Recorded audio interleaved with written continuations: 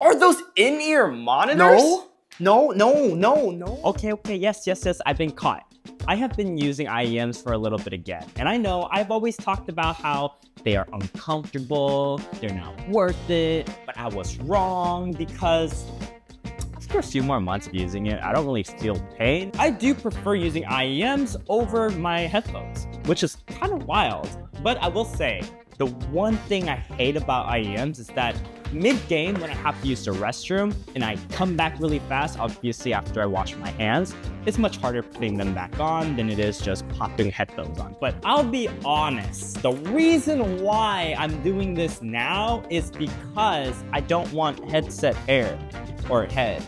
I don't want to have a divot. Now, I am curious about those wireless earbuds that a lot of people have been using nowadays, so hit me up companies, yeah. But for now, yes, I think I'm gonna stick with the IEMs. Actually, pages